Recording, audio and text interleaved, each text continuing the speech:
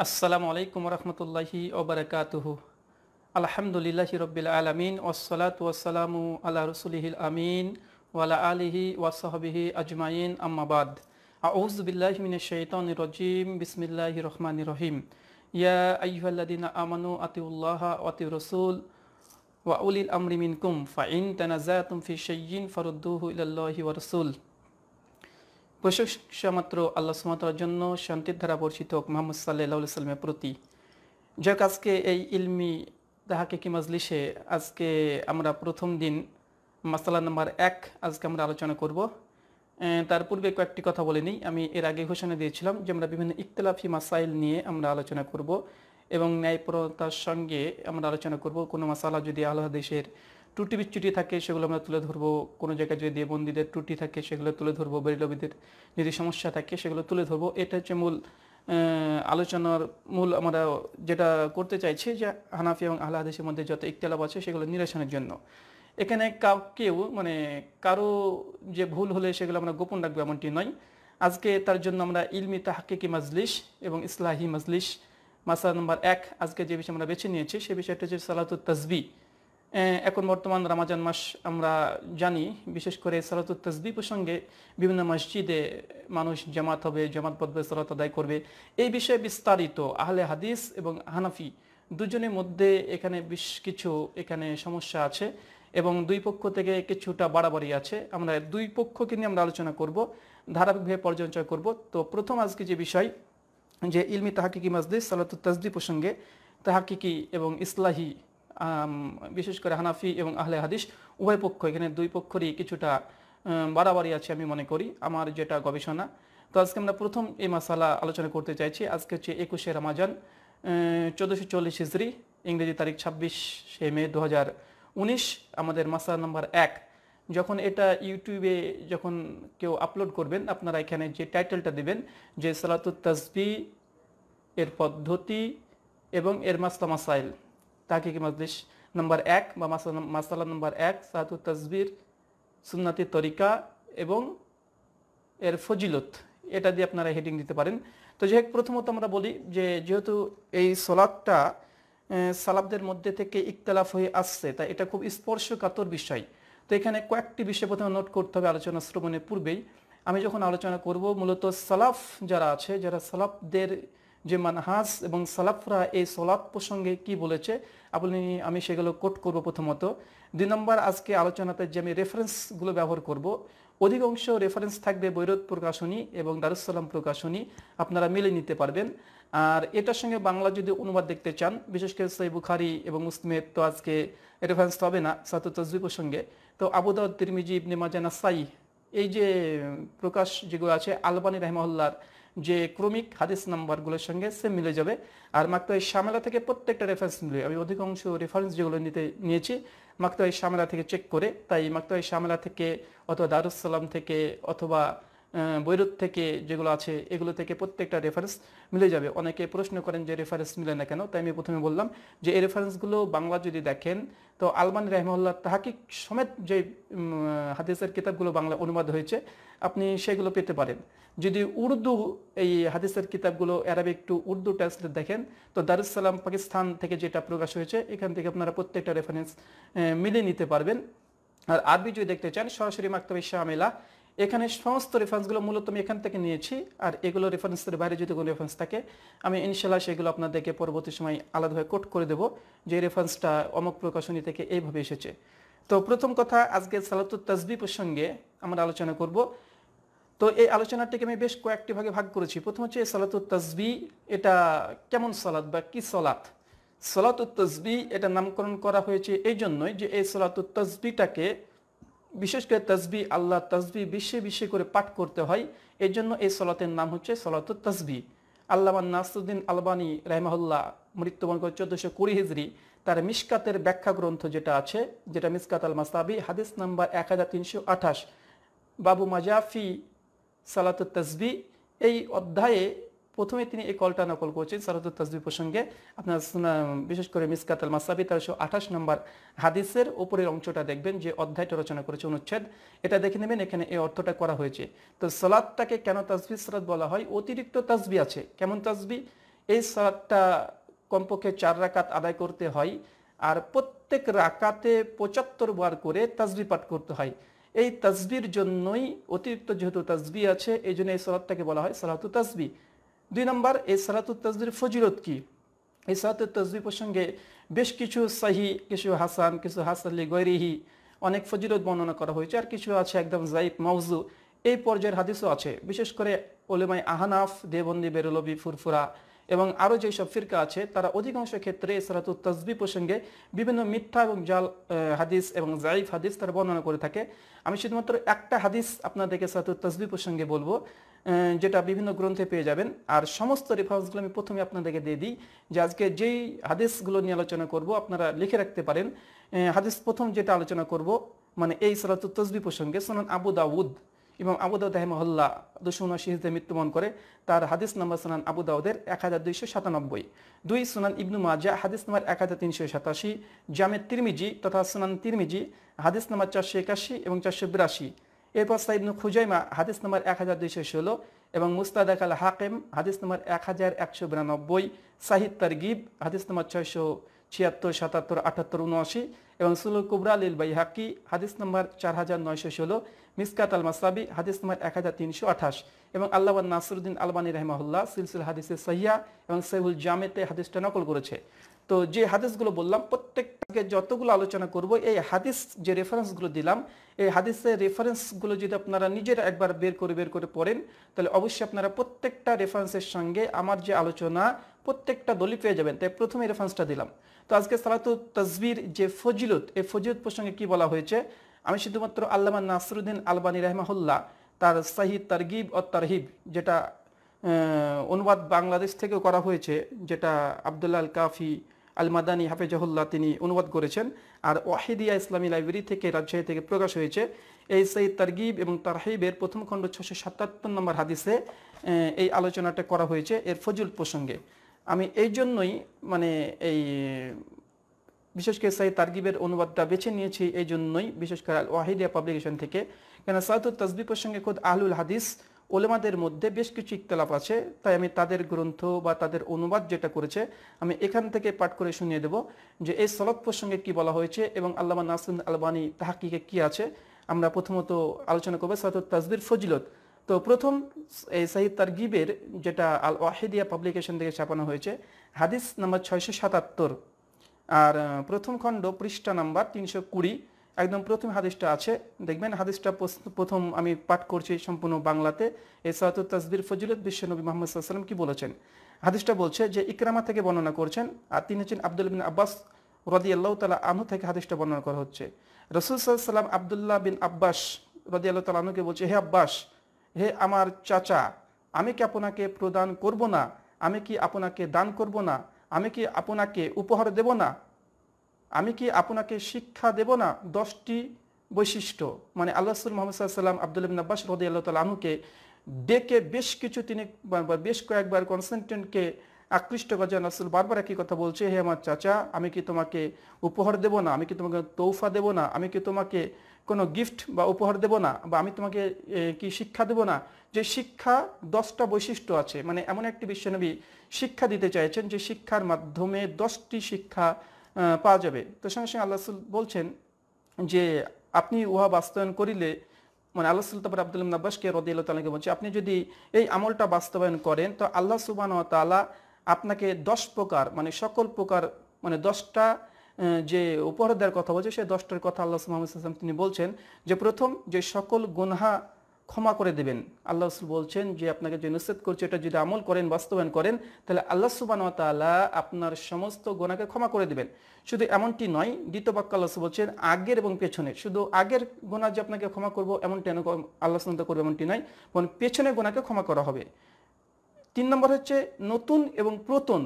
নতুন এবং প্রতন যত গোনা করেছেন, এগুলোকে ক্ষমা করা হবে। ছোট এবং বড়, এটাকে ক্ষমা করা হবে। গোপন এবং প্রকাশ্য, এটাকে আল্লাহ সুমতলা ক্ষমা করবেন এবং ইচ্ছাকৃত এবং অনিচ্ছাকৃত উভয় গুণাকে আল্লাহ সুমতলা ক্ষমা করবেন। তো এই হাদিস স্পষ্ট যে সাহি তারগিব, হাদিস নম্বর ছয়শো সাতাত্তর, আর এই হাদিসটা বেশ কয়েকটা সুনানে গ্রন্থ বর্ণনা হয়েছে, বিশেষ করে সোন আবু দাউদ, হাদিস নম্বর এক হাজার দুইশো সাতানব্বই এবং সোন ইবনু মাজা, হাদিস নম্বর এক হাজার তিনশো সাতাশি, সাই ইবনু খুজাইমা, দ্বিতীয় খণ্ড দুশো তেইশ পৃষ্ঠা এবং মুস্তাকাল হাকেমে হাদিসটা বর্ণনা হয়েছে, আল্লামা নাসিরুদ্দিন আলবানী রহমাহুল্লাহ, এই হাদিসের সনদকে সহি বলেছে এবং শেখ সুয়াইব আদনাত রহমাহুল্লাহ সুনান ইবনু মাজা, হাদিস নম্বর এক হাজার তিনশো সাতাশিতে তিনিও বলেছেন ইসনাদু সাহি এই সনদটা সহি হাদিসের। শেখ সোহেবর নৌদ এবং আল্লাহ নাসুদ্দিন আলবানি পাশাশি হাফেজ জুবাল আলী জাই রহমাহুল্লাহ, তিনিও সোনান আবুদাউদের তাহাকিকে তথা তেরোশো সাতানব্বই তেরোশো সাতানব্বই নম্বর হাদিসের তাহাকিকে তিনি বলেছেন, এই হাদিসের হাসান মানে সন্ত হাসান। তো যাই হোক জমহুর মহাদিসগণ এই হাদিসটাকে হাসান বলেছে, আমরা বিস্তারিত আবার আলোচনা করব এটা নিয়ে। তো এই হাদিস থেকে ফজিলত স্পষ্ট বোঝা গেল যে কোনো ব্যক্তি যদি সলাত তসবি এই সলাতটি আদায় করে, বিশ্বনবী তাকে দশ রকমের গুণা থেকে আল্লাহ তার ক্ষমা করবেন বলে এই ফজিলত বর্ণনা করেছে।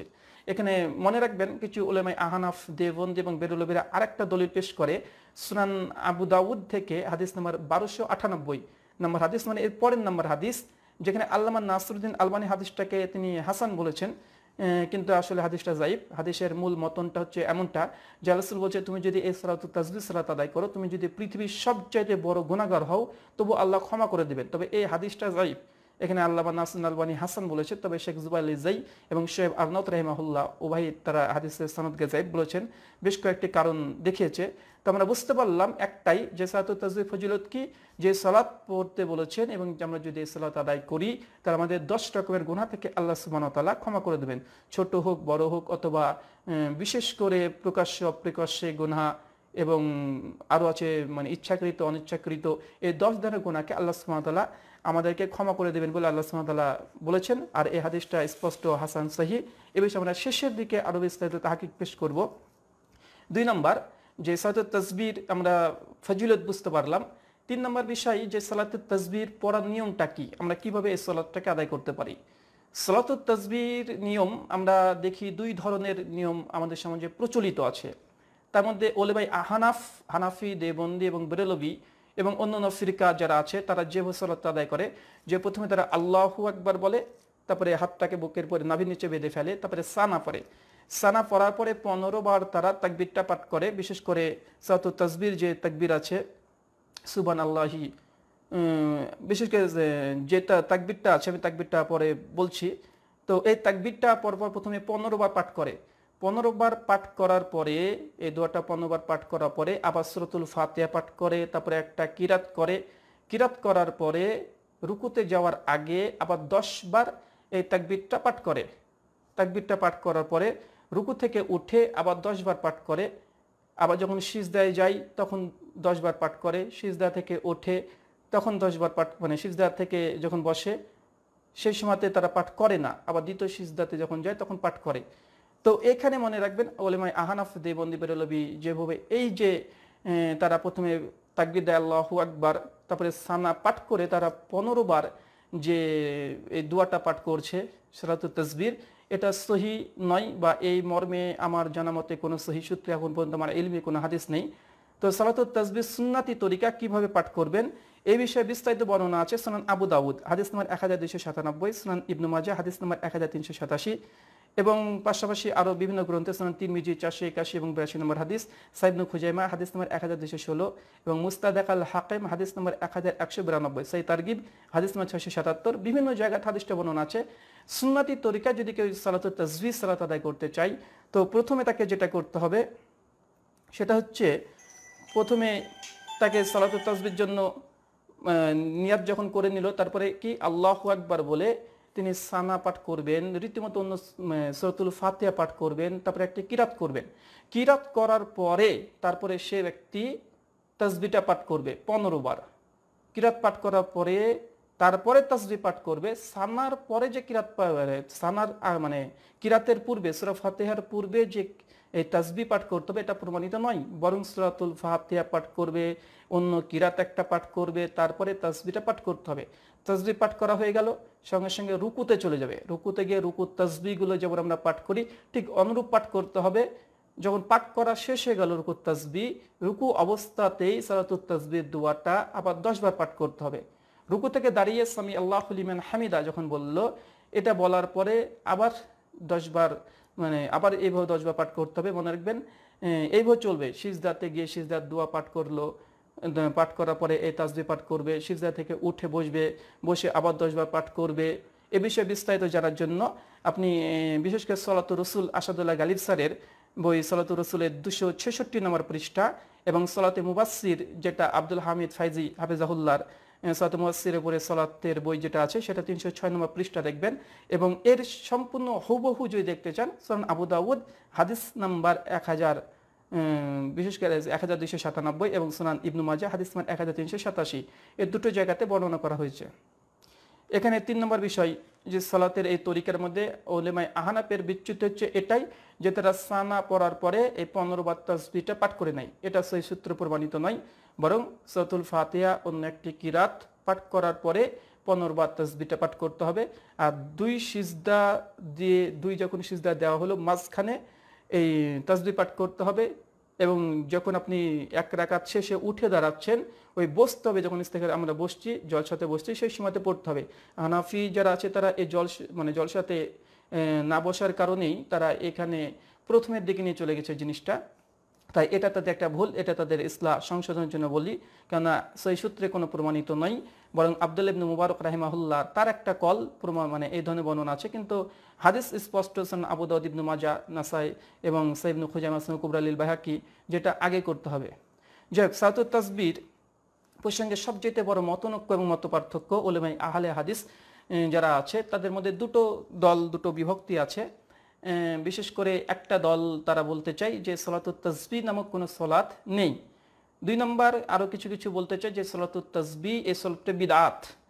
আর তিন নম্বর ওলিমা আহলে হাদিসের মধ্যে একটি মানে আরও সংখ্যাগরিষ্ঠ যারা আছে, তারা বলছেন, না, এই সলাতটা বৈধ, এটা পড়া যেতে পারে। এখন মূলত ইকতলাফ কেন? ইকতলাফের কারণ হচ্ছে এটা হাদিসের সনদ নিয়ে।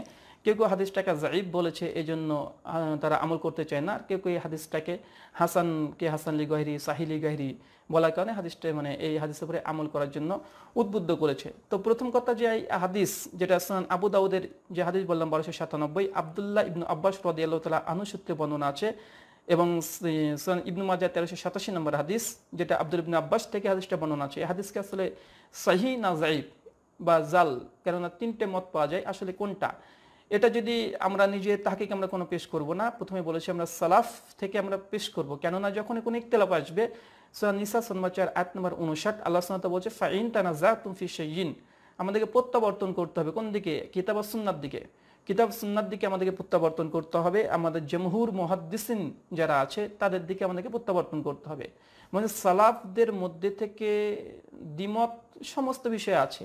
তাই সালাফদের থেকে দু চারজন, পাঁচজন ছজনের কোনো মাসালার উপরে যদি দ্বিমত পোষণ করে, আর আমরা সেটাকে নিয়েই যদি বলি না আমাদের দলিল এমনটি নয়, বরং সালাফদের থেকে দলিল অবশ্যই নিতে হবে। তবে জমহুররা কোন দিকে আছে? অধিকাংশের সালাফরা কোন দিকে আছে? এটা আমাদেরকে দেখতে হবে। তো আমার যেটা মানে যতটুকু আমি সরতুল তসবির হাদিস প্রসঙ্গে দেখেছি, হাদিসের তাহাকিক, হাদিসটা সাহি নাজাইব এই প্রসঙ্গে দেখতে গিয়ে আমি কমপক্ষে পঁচিশের ওপরে পঁচিশের ঊর্ধ্বে মহাদ্দিস যারা হাদিস বিশেষজ্ঞ যারা সঙ্গে হাদিসের উপরে বিশেষজ্ঞ হাদিস তাহাকিক করেছেন, তাদের পঁচিশের উপরে দেখেছি, তারা হাদিসগুলোকে সাহি, কেউ সাহি লিগাহি, কে হাসান বলেছে, কে হাসান লিজাতাহি বলেছে। তো পঁচিশের উপর আমি পেয়েছি। আর কিছু মানুষ, কিছু মহাদ্দিসিন আছে, তারা যাই বলেছে, তবে তারা জামহুরের বিরুদ্ধে বিপক্ষে আছে। কিন্তু অধিকাংশ মহাদ্দিসগণ হাদিসটাকে সহি বলেছে। আমি শুধুমাত্র মির আত, যেটা ওয়াইদুর রহমান ওয়ারকপুরি মহল্লা তার বিখ্যাত গ্রন্থ আছে মিসকাতের মিসকাতের সারা ব্যাখ্যা গ্রন্থ মির আত এখানে তেরোশো আঠাশ নম্বর হাদিসের ব্যাখ্যাতে আল্লাহ ওবায়দুল্লাহ রহমান মুবারকপুরি রহমাহুল্লাহ তিনি কমপক্ষে কুড়ি জন মহাদ্দিস, মহাদ্দিসের কথা নকল করেছেন, যারা এই সালাতুল তসবির হাদিসকে সাহি বলেছেন। এবং জালাউদ্দিন সুইতি রহমাহুল্লাহ, মৃত্যু হচ্ছে নয়শো এগারো হিজড়ি তার একটি কিতাব আছে লা আলী। তিনি এখানে কমপক্ষে তিনিও কুড়িজন জন মহাদ্দিসের কথা নকল করেছেন যে এই হাদিসের সনদ হাসান, এটা জাইব বা মৌজু নয়। হাফেজ জুবার আলী জাই রহমাহুল্লাহ কিছুদিন আগে মৃত্যুবরণ তেরোশো তেত্রিশ হিজড়িতে। তার একখানা বিখ্যাত গ্রন্থ আছে ফাতোয়া ইলমিয়া, ফাতোয়া ইলমিয়ার প্রথম খণ্ড চারশো ছাব্বিশ থেকে চারশো একত্রিশ পর্যন্ত তিনি আলোচনা করেছেন। তিনিও কমপক্ষে পনেরো জনের কথা নকল করেছেন যে এই সালাতুল তসবি প্রসঙ্গে যে হাদিসগুলো বর্ণনা হয়েছে, বিশেষ করে আবদুল্লাবনে আব্বাসে আবু দাউদ বাসে সাতানব্বই নম্বর হাদিস, এটা এটা সাহি, এটা হাসান জাতাহি এটা হাসান কে বলেছে, কেউ সাহিলি গাইরি বলেছে, বিশেষ করে আল্লাহ নাসুদ্দিন আলবান রহমুল্লাহ তিনি হাসান মানে সাহি বলেছে। তো যাই হোক মির আতে যে বিশ জন বা কুড়ি জন মহাদিসের কথা উল্লেখ করা হয়েছে, যে হাদিসটা সহি, এ বিষয়ে আমি শুধুমাত্র তাদের নামগুলো উল্লেখ করে আপনারা বুঝতে পারবেন যে সালাতুল তসবি যেটা জায়েজ, এটা আমলযোগ্য, এটা মারদুদ প্রত্যাখ্যাত বাতিল নয়। এ পক্ষে কোন কোন মহাদিস একমত পোষণ করেছে? প্রথম হচ্ছে ইমাম মুসলিম রহমাউল্লাহ যিনি সাই মুসলিমের মুসান্নিফ, মৃত্যুবরণ করে দুইশো একষট্টি হিজড়ি দুই নম্বর ইমাম ইমাম আবু দাউদ, যিনি সোনান আবু দাউদের মুসান্নিফ, মৃত্যুবরণ করে দুইশো পঁচাত্তর হিজড়ি আর ইমাম হাকিম রহমাহুল্লাহ মুস্তাক আল্লাহ হাকিমের মুসান্নিফ, মৃত্যুবরণ করে চারশো পাঁচ হিজড়ি ইমাম বাইহাকি রহমাহুল্লাহ, তার বিখ্যাত অনেকগুলো গ্রন্থ আছে। সোহাবুল ইমাল্লিল বাইহাকি আছে সোহাল কুবরালিল বাইহাকি, অনেকগুলো গ্রন্থ আছে। মৃত্যুবরণ চারশো পাঁচ আঠান্ন হিজড়িতে ইমাম বাইহাকি রহমাল্লাহ ইমাম দারাকুতনি হাদিসমা তিনশো মৃত্যুবরণ করে তিনশো পঁচাশি হিজড়ি তিনিও এই হাদিসটাকে মানে হাসান সহি বলেছেন। আর ছয় নম্বর হচ্ছে ইমাম আবু মনসুর দাইলামি, রাহিমাহুল্লাহ মৃত্যুবরণ করে পাঁচশো নয় হিজড়ি তিনিও হাদিসটাকে হাসান বলেছেন। আর সাত নম্বর আছে ইমাম আবু বাকার আজুরি রহমাহুল্লাহ। তিনিও হাদিসটাকে হাসান বলেছেন। হাফেজ আবুল হাসান মুকাদ্দেসি রহমাহুল্লাহ তিনিও হাদিসটাকে হাসান বলেছেন। হাফেজ সালাউদ্দিন আলাজি রহমাহুল্লাহ তিনিও এই হাদিস হাসান বলেছেন। আবু সাদ সুমাইনি রহমাহুল্লাহ তিনিও হাদিস হাসান বলেছেন। খাতিব বাগদাদি, তার বিখ্যাত গ্রন্থ আছে, আমরা সকলে জানি খাতিব বাগদাদি বিখ্যাত গ্রন্থ সারফিয়া সাবিল হাদিস। তাছাড়া তারিখে বাগদাদের উপর আছে চারশো তেষট্টি হিজড়ি মৃত্যুবরণ করে। ইনিও হাদিসটাকে হাসান বলেছেন। ইবনু সালেহ মৃত্যুবরণ করে চারশো তেষট্টি হিজড়ি ইমাম সুবিকি রহমহল্লা তিনিও এই হাদিসকে হাসান বলেছেন। চোদ্দ নম্বর হচ্ছে, আছে ইমাম মুনজিরি রহমহল্লা যিনি সহি তারগিবের মূল লেখক। আল্লাহ নাসুদ্দিন আলমানি পরবর্তী সময় তিনি তাহাকিক তাখরিজ করেছেন। তিনি মৃত্যুবরণ করে ছয়শো ছাপ্পান্ন হিজড়ি তিনিও হাসান বলেছেন সহি তারগিব। ওই ছয়শো সাতাত্তর নম্বর হাদিস দেখলে আপনার পেয়ে যাবেন। ষোলো নম্বর আছে আবু মুসা মদিনী রহমাহুল্লাহ, তিনি হাদিস হাসান বলেছেন। ইমাম জারিকাসি রহমাহুল্লাহ, তিনি হাদিসটাকে হাসান বলেছেন। আব্দুর রহমান মিসরি, তিনি হাদিসটাকে হাসান বলেছেন। মোহাম্মদ বিন ইসাহাক ইবনু মুন্দা রহমহল্লা বিখ্যাত একজন ব্যক্তিত্ব। তার অনেক কিতাব এখন পর্যন্ত পৃথিবীতে বিদ্যমান আছে ইন্ন হাদিসটাকে হাসান বলেছেন। ইমাম রাব নবী রহমাহুল্লাহ, যার বিখ্যাত গ্রন্থ রিয়াদুসলিন আছে, তার সই মুসলিমের সারা আছে মৃত্যুবান ছয়শো ছিয়াত্তর, তিনি হাদিসটাকে হাসান বলেছে। হাফেজ জাহাবি রহমাহুল্লাহ তার বিখ্যাত অনেকগুলো গ্রন্থ আছে জিয়াল শাস্ত্রের উপরে অনেকগুলোই গ্রন্থ আছে, মিজানুল ইতেদাল আছে তাই শিয়ারু আনামান্নুবালা আছে, মৃত্যুবরণ করে সাতশো আটচল্লিশ হিজড়ি তিনি হাদিসটি হাসান বলেছেন। আর বাইশ নম্বর হচ্ছে হাফেজ ইবনু হাজার আসকালীন রাইমাহুল্লাহ সহি বুখারি সারা যিনি লিখেছেন ফতহুল বারি, তকরিবুত তাহাজিব, তাহাজিবুত তাহাজিব, অনেকগুলো গ্রন্থ আছে, মৃত্যুবরণ করে আটশো বান্ন হিজরিতে। এই বাইশ জন মহাদিসের কথা নকল করলাম সালাফ থেকে, যারা সালাতুত তসবির হাদিস, বিশেষ করে আবদুল ইবনে আব্বাস রদি আল্লাহ তালা আনহু তার হাদিসকে হাসান এবং সাহি, অধিকাংশ মহাদিস হাসান বলেছে, কিছু কিছু মহাদিস সহি বলেছে, তারা জাইব বা মৌজু তারা বলেনি। তো আমরা বুঝতে পারলাম যে সলাবদের মধ্যে জমহুর যারা আছে, তাদের অধিকাংশ রায় সলাত তসবির এই সলাদটা এটা অনুচিত বা অবৈধ বা বাতিল বা এর কোনো ভিত্তি নেই বা এটা বিদাত এই কথা সঠিক না কেন? জমহুররা, বিশেষ করে হাদিসের মহাদ্দিস, যারা মহাদ্দিস হাদিসকে তাকে তাকরিজ করে তারা বলছে হাদিসটা সহি। এখানে আরও কয়েকটা দলিল মানে এগুলো তো সালাফ থেকে দিলাম। খালাফের মধ্যেও কিছু আছে, বিশেষ করে আমাদের এখনকার যুগে যারা মহাদ্দিস, যারা গবেষক, শ্রেষ্ঠ গবেষক আল্লামা নাসরুদ্দিন আলবানী রহমাল্লাহ মৃত্যুবরণ করে চোদ্দশো কুড়ি হিজড়ি তারসন আবু দাউদ বাসে সাতানব্বই মিসকাত হাদিস নম্বর এক হাজার তিনশো আঠাশ সাইদ তারগিব হাদিস নম্বর ছয়শো সাতাত্তর, আল্লামা নাসরুদ্দিন আলবানির যতগুলো তাহাকিকৃত গ্রন্থ আছে, সবগুলোতেই এই আব্দুল আব্বাস রদি আল্লাহ তালা সাতুত তসবি জায়েজ হওয়ার উপরে যে দলিল আল্লাহ নাসুদ্দিন আলবানী সবগুলোকে সহিলি গায়রিহি তিনি হুকুম লাগিয়েছেন, অতএব হাদিসটা সহি আরও দলিল, বিশেষ করে সোয়েব আরনাউতালাইমাহুল্লাহ এই দুই বছর আগে তিনি মৃত্যুবরণ করলেন। তার মুসনাদ আহমদের বিখ্যাত গোটা বিশ্বজুড়ে যা তাহাকিক প্রচার হচ্ছে এবং মানুষ এখান থেকে ইলম অর্জন করছে। তার আমি সুনান আবুদ ইবনু মাজা, হাদিস তোমার এক হাজার তিনশো সাতাশি, যেটা আপনারা ইন্টারনেটে পেয়ে যাবেন সোয়েব আরনাউতের তাহাকিক। এটা মূল আরবিতেই আছে। এটা এক হাজার তিনশো সাতাশি নম্বর হাদিসে শেখ শুয়েব আবনাউত আব্দুল ইবিন আব্বাস রদিয়াল্লাহ আনুর এই সলাতুল তসবির হাদিসকে সনদকে বলছে ইসনাদ সাহি। এই সনদ একদম নিঃসন্দেহ সহি। বিশেষ করে আব্দুল ইবিন আব্বাস রদিয়াল্লাহ আনহুর। আর নতুন মহাদিসদের মধ্যে আরও আছে আব্দুর রহমান মোবারকপুর রহমাল্লাহ তেরোশো ছাপ্পান্ন হিসেবে মৃত্যুবরণ করে তিনি মির আট হাদিস নাম্বার এক হাজার তিনশো আঠাশ, চতুর্থ খণ্ড তিনশো চুয়াত্তর পৃষ্ঠাতে তিনি দেশকে হাসান বলেছেন। ইমাম আহমদ শাকির ইমাম মোহাম্মদ আহমদ শাকির রহমাহুল্লাহ, তিনিও মৃত্যুবরণ করে তেরোশো সাতাত্তর হিজড়ি তিনিও তার তাহাকিকে, হাদিসটাকে হাসান সাহি, তিনি হুকুম লাগিয়েছেন। হাফেজ জুবার আলী জাই রহমাহুল্লাহ মৃত্যুবরণ করেছে দু হাজার তেরো খ্রিস্টাব্দে, তিনি সোনান আবু দাউদ, তেরোশো সাতানব্বই, সোনান ইবনু মাজা হাজার তিনশো সাতাশি এবং বিশেষ করে ফাতুয়া ইলমিয়া বিশেষ করে আমার কাছে যেটা ফাতোয়া ইলমিয়া আছে, ফতোয়া ইলমিয়া যেটা আছে, মাক্তবাই মানে দারুল ইলম থেকে ছাপানো হয়েছে এটা। এবং দারুল ইসলাম থেকে যেটা দারুল ইলমিয়া পাকিস্তান থেকে ছাপানো হয়েছে, প্রথম খণ্ড একদম চারশো ছাব্বিশ থেকে চারশো একত্রিশ পৃষ্ঠা পর্যন্ত, পাঁচ পৃষ্ঠা। এই সালাত তসদিফের সঙ্গে হাফেজ জুবাইল জাই রহমাউল্লাহ প্রত্যেকটা সনদ এবং সালাবদের কল নকল করেছেন। যারা বিস্তারিত জানতে চান এবং তাহাকে তাকরিজ আরও জানতে চান, তারা বিশেষ করে এই হাফেজ জুবাইল জাই ফাতোয়া ইলমিয়া, এটা চতুর্থ মানে প্রথম খণ্ড একদম চারশো ছাব্বিশ থেকে চারশো একত্রিশ পৃষ্ঠা পর্যন্ত বিস্তারিত এখানে আলোচনা করা আছে। আপনারা এটা পাঠ করতে পারেন। এটা খুব একটা মানে গ্রহণযোগ্য একজন মহাদ্দিস এবং উপমহাদেশের মধ্যে বিশেষ করে অনেক ক্ষেত্রে বলা হয় আল্লাহ নাসুদ্দিন আলবানী রহমল্লার পরে হাফেজ জুবাই যাই আমাদের উপমহাদেশের জন্য। তো যাই হোক নতুন মহাদিসদের মধ্যে আরও আছে শামসুর রহমান আজিম আমাদের রহমহল্লা তেরোশো উনত্রিশ ইসদিতে তিনি মৃত্যুবরণ করে। তার বিখ্যাত গ্রন্থ আছে আবু দাউদ। আবু দাউদের সারা লিখেছেন আইনুল মাহবুদ তিনি পরিষ্কারভাবে বারোশো সাতানব্বই নম্বর হাদিসে বেশ কিছু মহাদিসের কথা নকল করে তিনিও মত পোষণ করেছেন।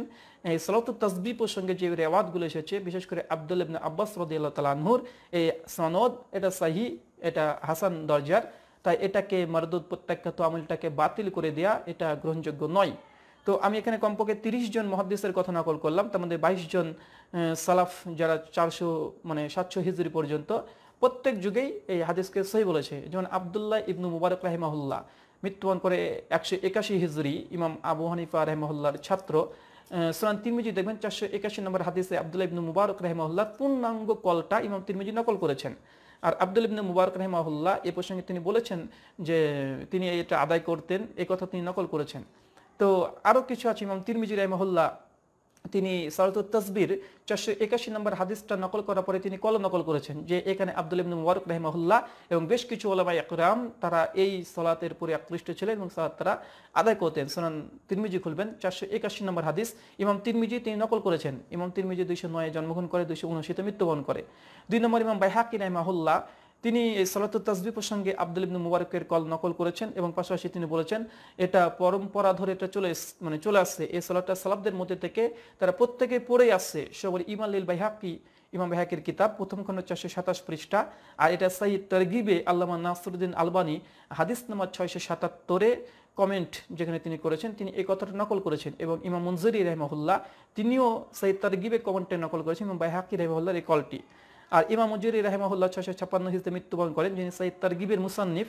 তিনি ছশো সাতাত্তর নম্বর হাদিস নকল করার পরে তিনিও বেশ কিছু কথা তিনি বলেছেন। আমি জাস্ট এখান থেকে সাইদ তারগিব তার হেবের আমি শুধুমাত্র কলটা আপনাদের কাছে পাঠ করছি। ইমাম মজুরি রহমুল্লাহ এই হাদিস নিয়ে আসার পরে তিনি কি বলেছেন? তিনি মৃত্যুবরণ করেন ছয়শো ছাপান্ন হিজড়ি সাইদ তারগিব ও তারহিব। আলবান হাসিন আলবানী সহিব এবং জৈব এটা নির্ধারণ করে তিনি তাহাকিক এবং তাকরিজ করেছেন। এখানে ইমাম মঞ্জির রহমাল্লাহ বলছে, বিভিন্ন সনদে এবং একদল সাহাবা রদিয়াল্লাহ আনু থেকে হাদিসটা বর্ণনা করা হয়েছে। তার মধ্যে ইকরামা বর্ণনা, বর্ণিত এই হাদিসের সনদটি অধিক উত্তম। ইকরামা মানে আব্দুল্লাহ ইবন আব্বাস রদিয়াল্লাহ তালানু দাস ছিলেন মানে তার সূত্রে বর্ণনা করা হয়েছে যেটা সেই সান আবুদাদে বাসে সাতানব্বই নম্বর সাতানব্বই নম্বর হাদিস। বলছে, এটা সর্বাধিক উত্তম হাদিস। হাদিস বিশারদ এবং পণ্ডিতদের মধ্যে অনেকে উহা সই আখ্যা দিয়েছেন। তাদের মধ্যে অন্যতম হচ্ছে হাফেজ আবু বাক্কর আজুরি এবং শেখ মোহাম্মদ আব্দুর রহমান মিসরি এবং শেখ আবুল হাসান আল মাকদেসি প্রমুখ কথা বলার পরে তিনি ইমাম বেহাকির কল কলটাকে নকল করেছেন? এবং ইমাম মুসলিম রাহমাহুল্লাহ, তিনিও মানে হাদিসটার পুরে তিনি কি হুকুম লাগিয়েছেন? ইমাম মুসলিম রাহমাহুল্লাহ, তিনিও এই হাদিসটাকে সহি বলেছেন। অনেকজন বলেছে, আমি আপনাকে ত্রিশকে তার চাইতে ঊর্ধ্বে আরও দলিল সম্ভব। ইমাম মুসলিম প্রসঙ্গে লিখেছেন যে হাদিস প্রসঙ্গে ইমাম মুসলিম ইমাম মুসলিম বলছেন, এই হাদিসের ক্ষেত্রে এর চাইতে উত্তম সনদ আর বর্ণিত হয়নি।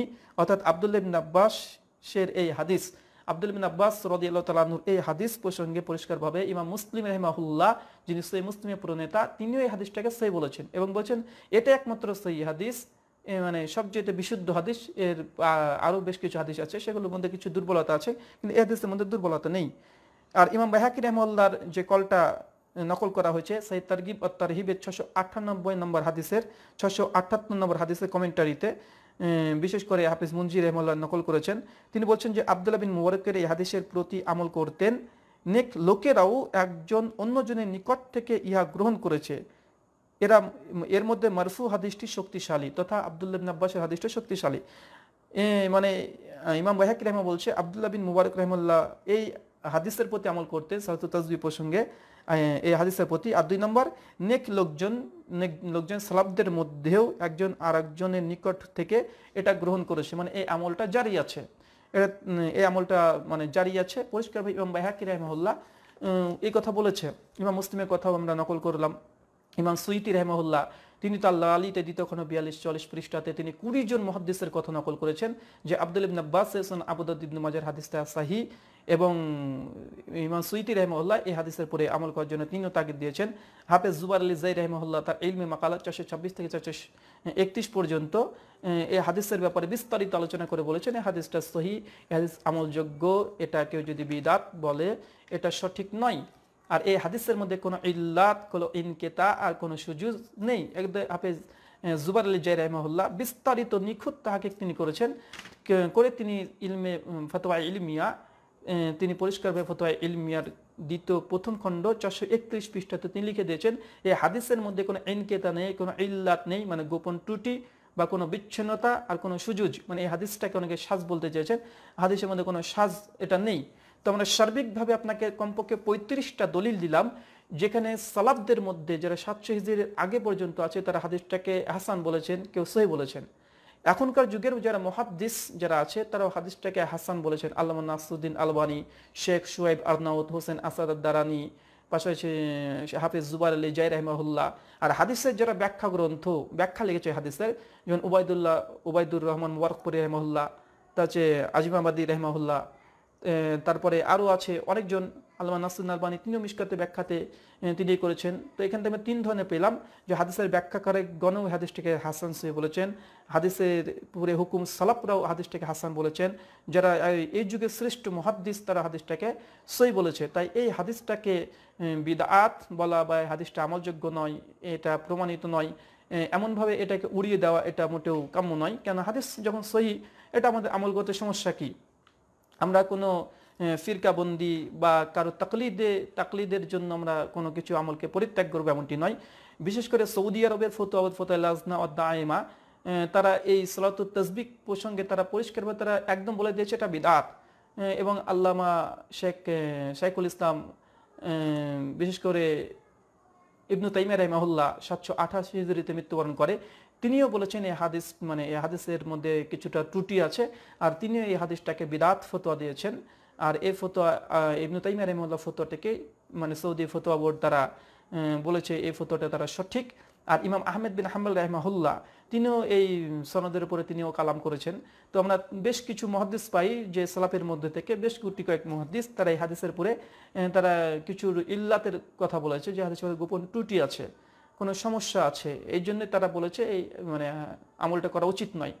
তো যাই হোক এখানে কিছু সংখ্যক মানুষের ক্ষেত্রে জামহুরদের কথায় প্রাধান্য পাবে। এটা ওসুল হাদিস যারা আপনারা জানেন যে জামহুরদের কাছে কিছু সংখ্যক মানুষ যদি কোনো ফাতোয়া দেয় তাদের কথাটা মরদুদ প্রত্যাখ্যাত হয়, জামহুরদের কথাটা গ্রহণযোগ্য হয়। তাই জামহুরদের বিরুদ্ধে শেখুল ইসলাম ইবনু তাইমা রহমাহুল্লাহ তার কথা এবং ইমাম আহমেদ বিন আহমদ রহমুল্লার কথা এসেছে, তার জন্য আমরা অবশ্যই এটাকে মরদুদ প্রত্যাখ্যাত আমরা করতে পারি। কিন্তু ওসুল হাদিসের মূল নীতিমালা যারা একটু জানেন তারাই বোঝেন যে জামহুরদের কাছে যখন কোনো ইকতলাফ চলে আসবে, জামহুরদের কথাটা হুজ্জাত।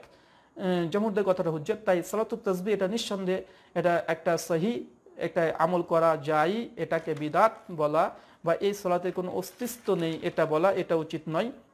এ বিষয়ে বিস্তারিত জানার জন্য আল্লাহ নাসুদ্দিন আলবানী রহমল্লার বিশেষ করে আপনারা বাংলা ভাষাতে যেটা আছে মিসকাতের ব্যাখ্যা গ্রন্থ, মিসকাত আল মাসাবি হাদিস তেরোশো আঠাশটা পাঠ করবেন।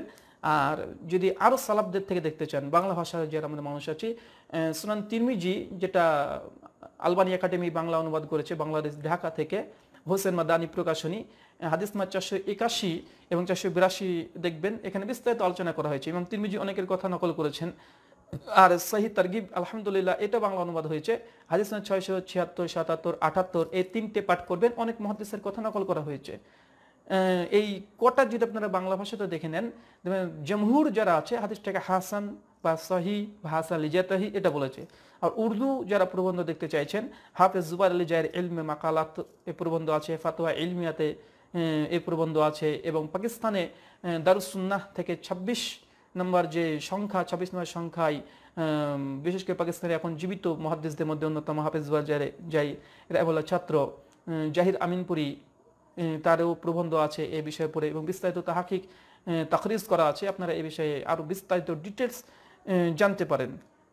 এখানে আরেকটা পয়েন্ট আমি আলোচনা করব যে সলাতুত তসবি জামাতের সঙ্গে সলাত আদায় করা। আমাদের ওলবাই আহনাফের মধ্যে দেখা যায় যে সলাতুত তসবি তার মধ্যে কয়েকটা ভুল আছে। প্রথম ভুল হচ্ছে এটা তাদেরকে সংশোধন ইসলার জন্য বলছি যে তারা জামাত বদ্ধভাবে সলাত আদায় করে।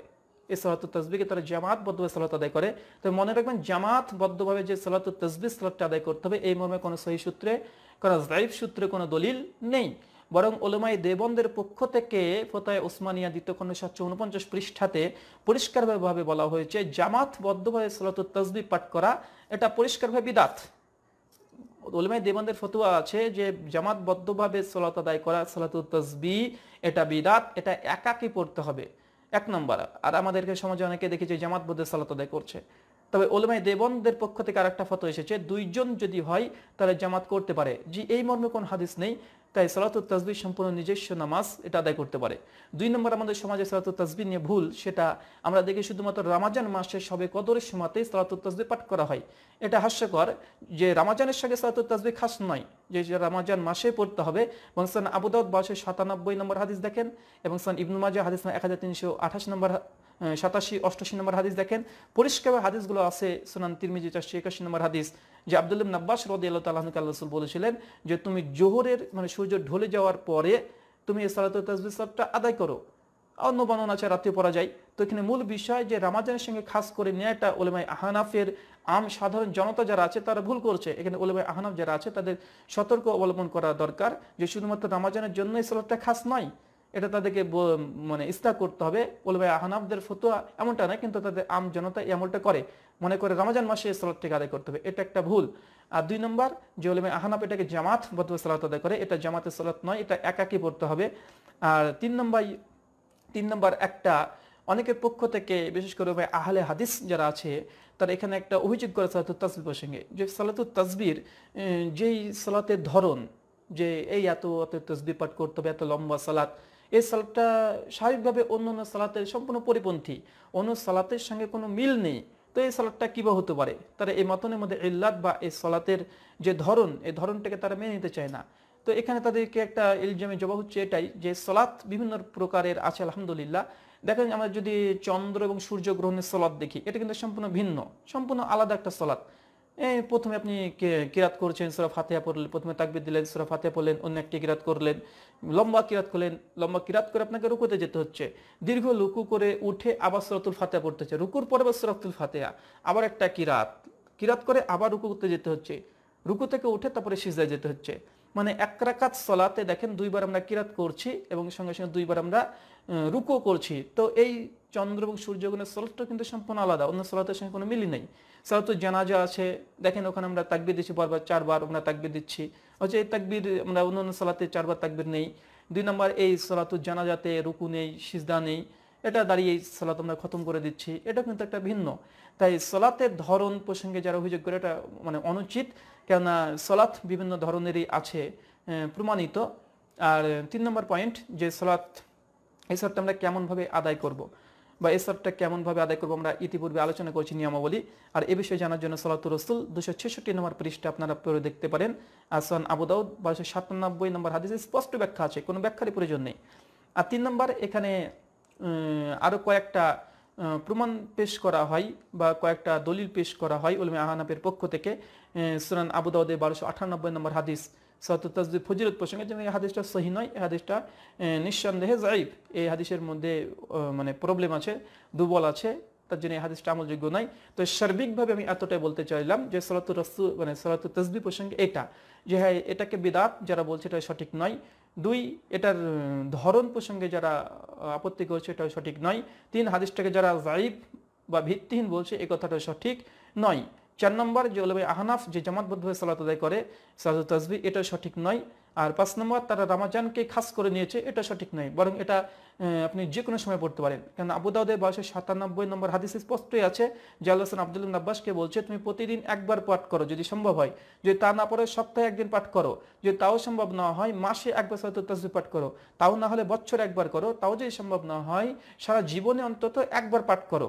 তো সালাত তসবি এটা শুধু নামাজের জন্য খাস নয় এখানে ওলেমাই দেবন্দ ওলেমাই বেরলভি, তথা আহনাব যারা আছে, তাদের এই মাসালা ভুল বা তারা এটা মানে এইভাবে তো উপস্থাপন করছে তাদের আম। তাদের জামাত করছে, এটা জামাতটা সুন্না দ্বারা প্রমাণিত নয়, এক এক আদায় করতে হবে, এ দুটো মনে রাখবেন। আর এই সলাদটা, এটা একটা ঐচ্ছিক সলাৎ, আপনি আদায় করতে পারেন।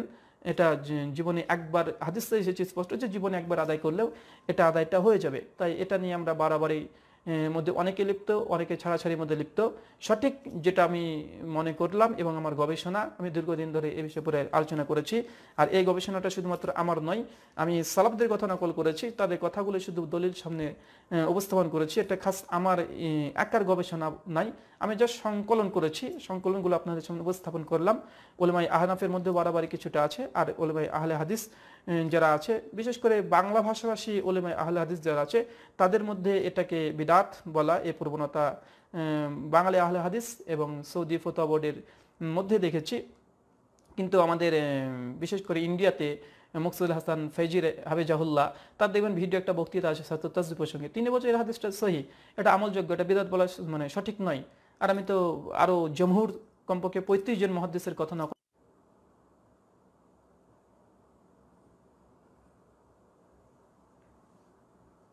জি, আমি তো এ বিষয়ে মানে পঁয়ত্রিশ জন মহাদিসের কথা নকল করলাম যে সালাতুল তসবির এই হাদিসগুলো সহি এটা কোনো আপত্তি নেই। এই সলাপ যদি কেউ আদায় করতে চায়, আদায় করতে পারে। বাট এই ওলেমাই আহনাফের মধ্যে, তরিকার মধ্যে একটা পার্থক্য আছে। ওলেমাই আহনাফ যে তরিকায় পাঠ করছে, সানার পরে তসবি পাঠ করাটা নেই, বরং সুরতুল ফাতুল কিরাত তারপরে পনেরো বার তাকবিরটা পাঠ করার কথা আছে। তাই তাদের একটা ভুল, তাদের দুই নম্বর ভুল হল মেহানাপের যে তারা জামাত করে পড়ছে, তিন নম্বর ভুল, তারা রামাজনের জন্য খাস করে নিচ্ছে, এই তিনটে ভুল তারা শুধরে নেবে, আর ওলমায় আহলে হাদিস এই সলাতের ইজাজত দেবে তারা পরিষ্কারভাবে, না সলাতটা বৈধ বিদাত এবং ভিত্তি নিয়ে কথা বলা থেকে বিরত থাকাটাই বাঞ্ছনীয় কেন এটাই জমহুর, যারা সলাপ আছে তাদের এটাই গ্রহণযোগ্য এবং রাজেকল। এ বিষয়ে বিস্তারিত আপনারা বিভিন্ন প্রবন্ধ পেতে পারেন। আরও গবেষণা করতে হলে আমি বইগুলোর নাম বলেছি, এই বইগুলো থেকে আপনার দলিলগুলো মানে দেখে নিতে পারেন। যে আজকে আমরা এখানে আলোচনা শেষ করব। সাহত তসবি প্রসঙ্গে আমরা আজকে এলমি তাহাকিকি মসদিস মাসালা নম্বর এক আমরা আলোচনা করলাম। দ্বিতীয় আমরা এ বিষয়ে ধারাবাহিক পর্যায়ে একটা বা একটা আমরা আলোচনা করব।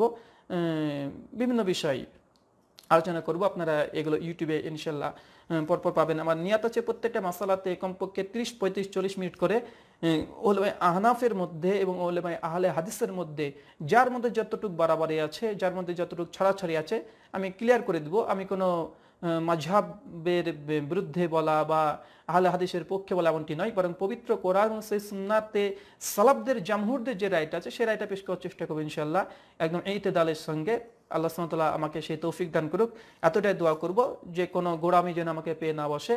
এবং শ্রোতা মণ্ডলী যারা আছে তারা যেন এগুলো প্রত্যেকটা চেক করে। আর আমি বিশেষ করে যখন আলোচনা করব, আমি এটাকে পদ্ধতি অবলম্বন করেছি।